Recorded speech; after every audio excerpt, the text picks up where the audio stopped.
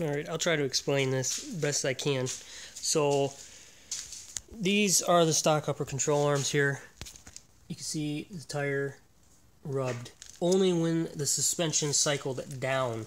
Uh, when these were on here, they were really close to touching. They were only about an eighth inch from rubbing when the vehicle was sitting flat. When the suspension cycled down, it would then rub. It would also rub when you turned right up here, and it wouldn't allow you to make a full right or full left turn. About 50% of your turn was eliminated because it was rubbing. You can see it rubbed right here. Um, the tire would actually hit and it would actually stop on these lugs.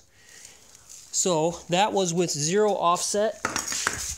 These rims here are uh, Moto Metals and they are a 24 negative. And there, and these are the new upper control arms. I put them on there, and there is a lot of space in here. There's probably two, maybe two and a half inches, and they don't rub when you turn.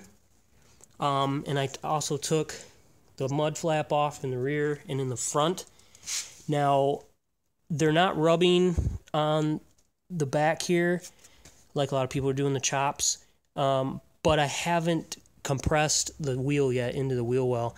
When they do, they do rub here a little bit under compression. Um, so I'll probably end up having to snip this off. But I haven't been able or haven't had time to go out and actually stuff the tire to figure out where these uh, are rubbing. Now the offset's pretty pretty good. I would say it's probably two to two and a half inches on the outside of these stock fenders here. Um, it does throw a lot of mud. If you don't care about that, then that's fine. Um, I might end up putting Bushwackers on, but uh, yeah, they're they're good tires. Um, they're loud if you're running the freeways, um, which I have to run about 10 miles on the freeway. They're not super loud. They're not like super swamper loud, but they're definitely not quiet like these stocks here, these Hankooks. Um, but yeah, if you got any more questions, you can send me a message, or if we need to talk on the phone, that's cool too. But hopefully that was helpful.